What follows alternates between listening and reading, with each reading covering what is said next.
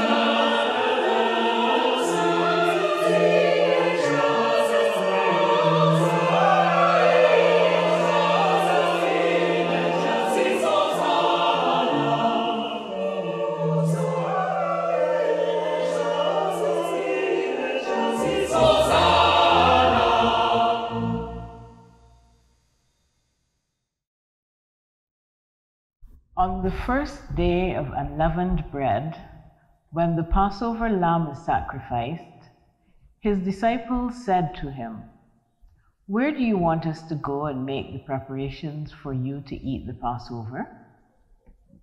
So he sent two of his disciples, saying to them, Go into the city, and a man carrying a jar of water will meet you. Follow him, and wherever he enters, say to the owner of the house, The teacher asks, Where is my guest room where I may eat the Passover with my disciples? He will show you a large room upstairs, furnished and ready. Make preparations for us there. So the disciples set out and went to the city and found everything as he had told them, and they prepared the Passover meal. When it was evening, he came with the twelve. And when they had taken their places and were eaten, Jesus said, Truly, I tell you, one of you will betray me one who is eaten with me. They began to be distressed and to say to him one after another, Surely not I. He said to them, It is one of the twelve, one who is dipping bread into the bowl with me. For the Son of Man goes as it is written of him. But woe to that one by whom the Son of Man is betrayed. It would have been better for that one not to have been born. While they were eating, he took a loaf of bread, and after blessing it, he broke it, gave it to them, and said, Take, this is my body. Then he took a cup, and after giving thanks, he gave it to them, and all of them drank from it. He said to them, this is my blood of the covenant, which is poured out for many. Truly, I tell you, I will never again drink of the fruit of the vine until that day when I drink it new in the kingdom of God. When they had sung the hymn, they went out to the Mount of Olives.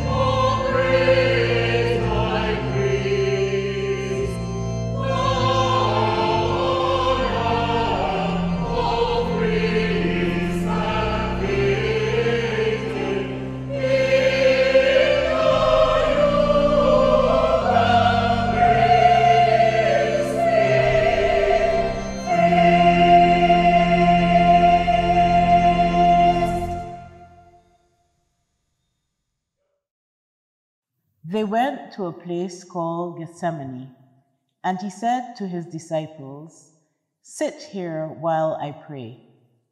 He took with him Peter and James and John, and began to be distressed and agitated. And he said to them, I am deeply grieved, even to death. Remain here and keep awake. And going a little farther, he threw himself on the ground and prayed that, if it were possible, the hour might pass from him. He said, Abba, Father, for you all things are possible. Remove this cup from me. Yet, not what I want, but what you want. He came and found them sleeping and he said to Peter, Simon, are you asleep?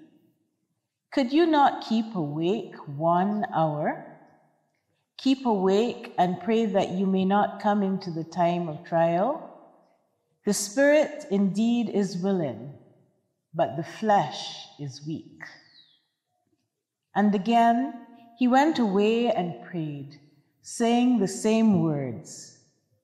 And once more he came and found them sleeping, for their eyes were very heavy, and they did not know what to say to him. He came a third time and said to them, Are you still sleeping and taking your rest? Enough! The hour has come. The Son of Man is betrayed into the hands of sinners. Get up, let us be going. See, my betrayer is at hand. Immediately, while he was still speaking, Judas, one of the twelve, arrived, and with him there was a crowd with swords and clubs from the chief priests, the scribes, and the elders. Now the betrayer had given them a sign, saying, The one I will kiss is the man. Arrest him and lead him away under guard. So when he came, he went up to him at once and said, Rabbi, and kissed him. Then they laid hands on him and arrested him.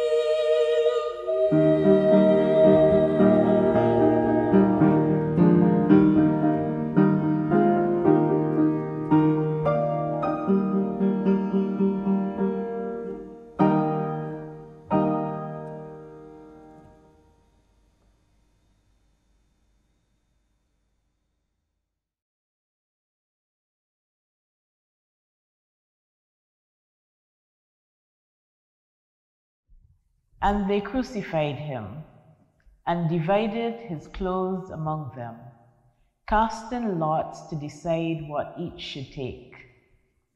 It was nine o'clock in the morning when they crucified him. The inscription of the charge against him read, The King of the Jews. And with him they crucified two bandits, one on his right and one on his left. Those who passed by derided him, shaking their heads and saying, Aha, you who would destroy the temple and build it in three days, save yourself and come down from the cross.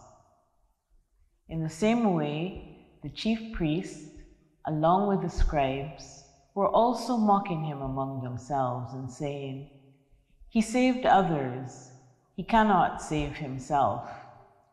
Let the Messiah, the King of Israel, come down from the cross now, so that we may see and believe.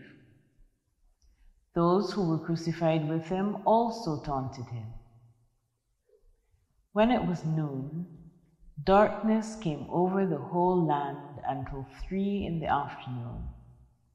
At three o'clock, Jesus cried out with a loud voice, Eloi, Eloi, lama sabachthani, which means, My God, my God, why have you forsaken me?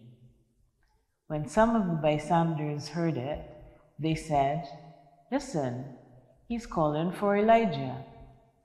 And someone ran, filled a sponge with sour wine, put it on a stick, and gave it to him to drink, saying, Wait, let us see whether Elijah will come to take him down.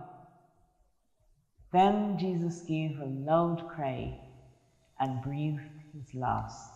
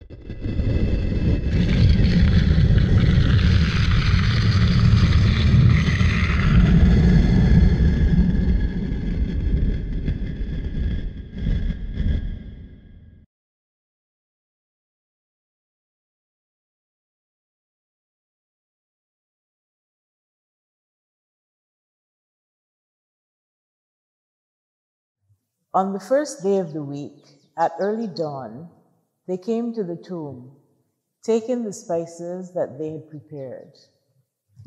They found the stone rolled away from the tomb. But when they went in, they did not find the body. While they were perplexed about this, suddenly two men in dazzling clothes stood beside them. The women were terrified and bowed their faces to the ground. But the men said to them, Why do you look for the living among the dead? He is not here, but has risen. Remember how he told you while he was still in Galilee that the Son of Man must be handed over to sinners and be crucified, and on the third day rise again. Then they remembered his words, and returning from the tomb, they told all this to the eleven and to all the rest. Now it was Mary Magdalene, Joanna, Mary the mother of James, and the other women with them who told this to the apostles. But these words seemed to them an idle tale, and they did not believe them. But Peter got up and ran to the tomb. Stooping and looking in, he saw the linen cloths by themselves. Then he went home, amazed at what had happened. This joyful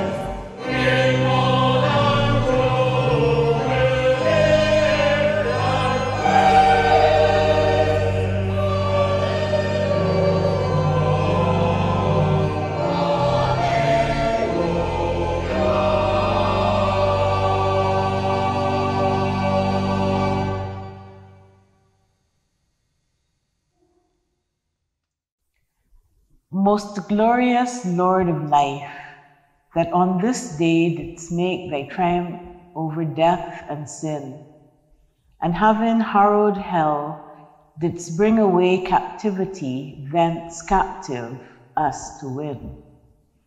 This joyous day, dear Lord, with joy begin, and grant that we, for whom thou didst die, being with thy dear blood clean washed from sin, may live forever in felicity.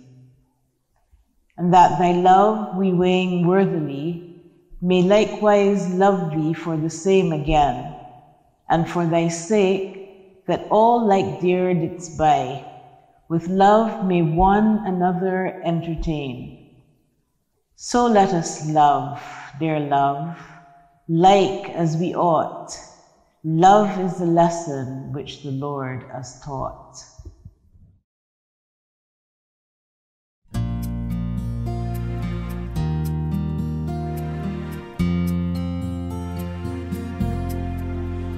And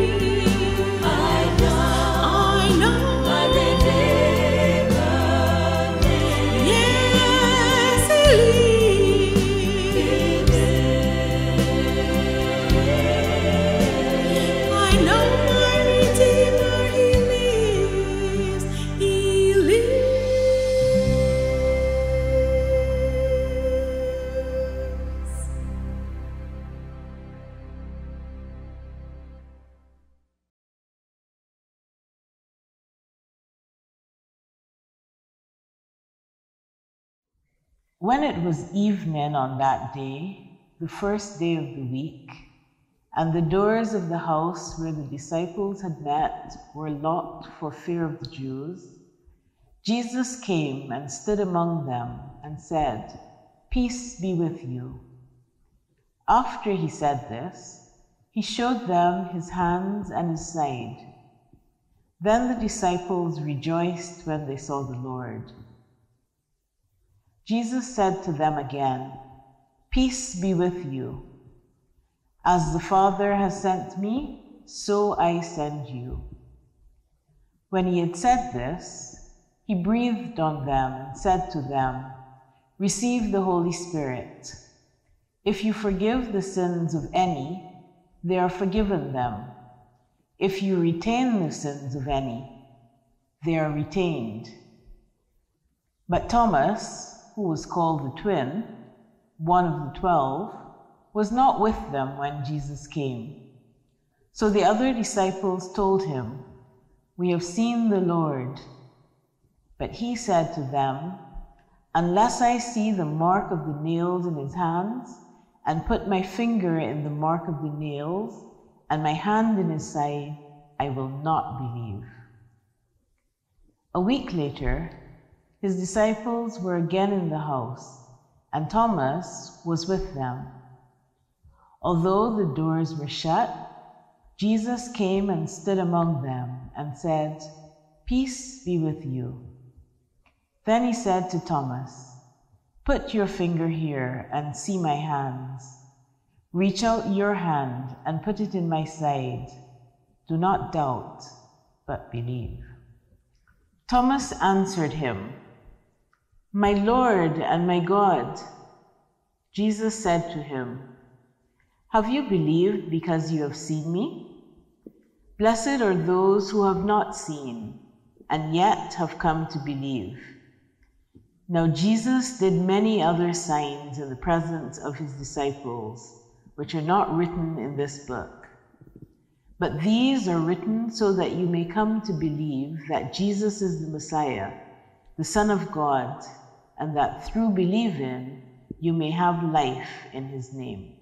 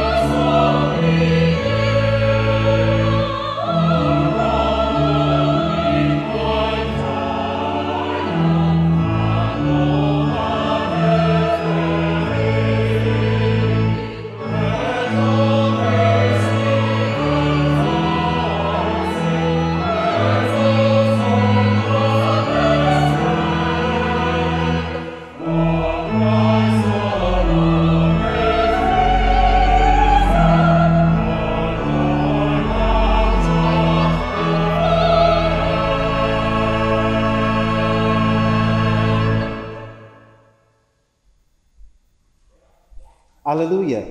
The Lord is risen indeed. Almighty God, who through your only begotten Son, Jesus Christ, overcame death and opened to us the gate of everlasting life, grant that we, who celebrate with joy the day of the Lord's resurrection, may be raised from the death of sin by your life-giving Spirit. Through Jesus Christ our Lord, who lives and reigns with you and the Holy Spirit, one God, now and forever. Amen. The God of peace who brought again from the dead our Lord Jesus, the great shepherd of the sheep, by the blood of the eternal covenant, equip you with everything good that you may do his will, working in us that which is pleasing in his sight. And the blessing of God Almighty, the Father, the Son, and the Holy Spirit be among you and remain with you always. Amen.